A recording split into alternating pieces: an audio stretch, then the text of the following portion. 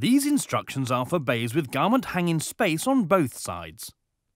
Before you start to assemble your Supershelf garment hanging bay, it's best to check that you have everything you need. In the kit of parts, you should have these items.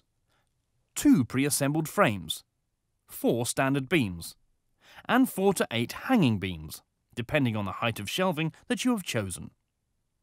You should also have panels, the quantity varying according to the width of your bay, beam clips, and protective plastic top caps for the frames. We also recommend a rubber-faced mallet to help with the bedding in of beams and clips during assembly. A pair of gloves, and if you are assembling a unit higher than 2 meters, a small pair of steps. With the frames, beams and clips in easy reach, stand one frame on end.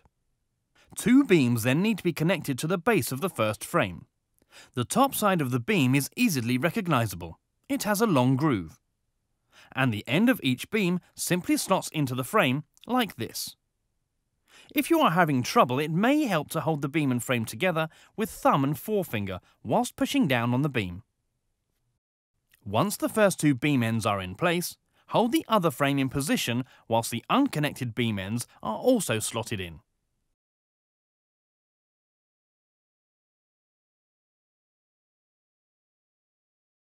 This enables the frame to stand unsupported.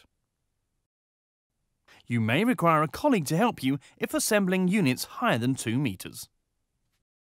Next, fix one hanging beam just under the top shelf level at the back of the unit. Then, depending on the height of the bay you are constructing, fix between one and three more hanging beams evenly spaced down the back of the unit. Next, fix one of the two remaining standard beams, the ones with the long grooves on top, to the back at the top of the unit, in the space left above the hanging beam. Now start to fix the beams down the front of the unit at matching heights to those already in position at the back. Start with the first hanging beam, then the one or more hanging beams lower down. Finally, fix the last standard beam in the top shelf position. With all the back beams in place, fit one clip to each end of every beam. When finished clipping, your assembly should look like this.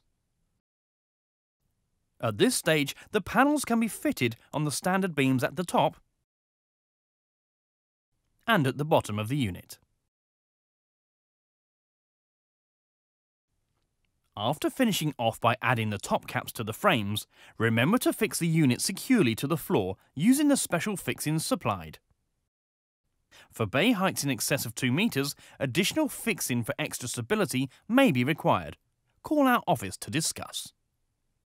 If you have ordered an add-on bay or bays, you'll have essentially the same kit components as you've just assembled, but with just a single additional frame for each add-on bay.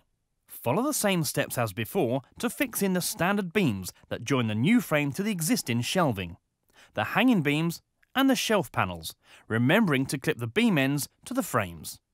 Finally, fit the top caps on the new frame, and when all is complete and secure, you can hang garments to both sides of the unit.